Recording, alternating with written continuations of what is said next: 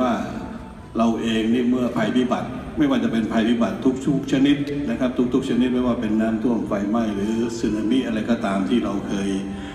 ไปไปช่วยเหลือพี่น้องประชาชนโดยพื้นฐานนะครับปีนี้เราก็หาทุนเพื่อที่จะจัดสรรในเรื่องของกิจกรรมทางสังคมต่างๆนะครับ รวมถึงเป็นเงินรายได้ส่วนหนึ่งก็จะมาอ่าสนับสนุน ส่งเสริมคุณภาพชีวิตของพนักงานการไฟฟ้าส่วนภูมิภาคที่ไม่ได้รับความเป็นธรรมในเรื่องของเอ่อได้รับผลกระทบจากการปฏิบัติงานในหน้าที่ ก็ต้องขอขอบคุณนะครับกับทางการไฟฟ้าส่วนภูมิภาคนะครับ ที่ให้เกียรติจากบริษัทเพชรยินดีบ็อกซิ่งโปรโมชั่นให้เกียรติรับเป็นประธานจัดการแข่งขันในศึก ยอดมวยโลก IBF นะครับในวันศุกร์ที่ 21 กรกฎาคม 2560 นะครับณเวทีมวยชั่วคราวการไฟฟ้าส่วนภูมิภาคสำนักงานใหญ่ ถนนงามวงวานเขตจตุจักรกรุงเทพมหานคร ช่องเจ็ดสีถ่ายทอดสดตั้งแต่เวลา 14นาฬิกาถึง 16นาฬิกา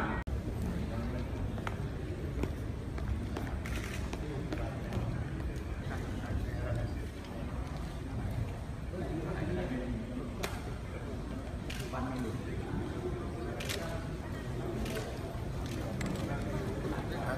ารย์ครับความเป็นมาของวันชนะ CP Fest มานี่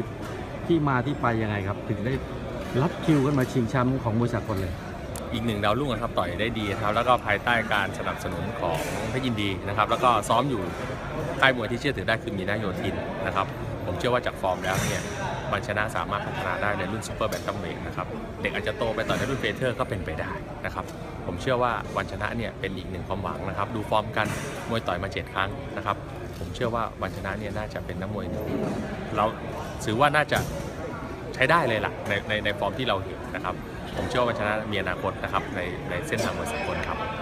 กับมวยโลกครั้งนี้ถือว่าโฉมใหม่เลยหรือเปล่าครับที่ทางการไฟฟ้าโดดเข้ามา